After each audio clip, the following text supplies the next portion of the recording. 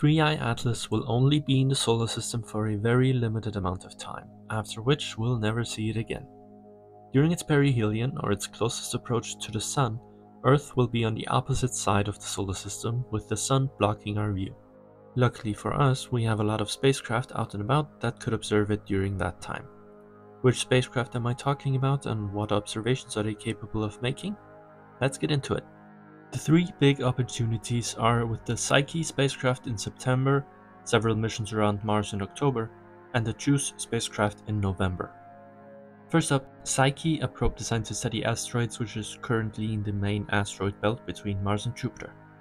It gets a close look on September 4th. Its main job will be to help us understand the comet's dust by taking pictures from a unique angle that we can't get from Earth.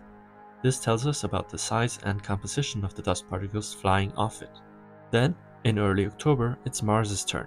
The orbiters there, like NASA's MRO and the UAE's HOPE probe, will be closer to 3i than any other mission. Their high resolution cameras will get our best pictures of the coma. Crucially, the HOPE spacecraft's ultraviolet spectrometer will attempt to detect hydrogen in the coma, which would confirm the presence of water ice, a huge discovery for an interstellar object. But the MVP might be ESA's JUICE spacecraft on its way to Jupiter. Its closest approach is on November 4th, just days after the comet's perihelion, when it's completely hidden from Earth. JUICE has a powerful imaging spectrometer called MAJIS that can detect gases like carbon dioxide and water vapor in the comet's tail. It might even detect complex organic molecules called PAHs, which could tell us if this object formed in a harsh early period of our galaxy's history. Lastly, spacecraft like Europa Clipper, Lucy, and Hera might even fly through 3i's cometary tail in October, potentially directly sampling its material.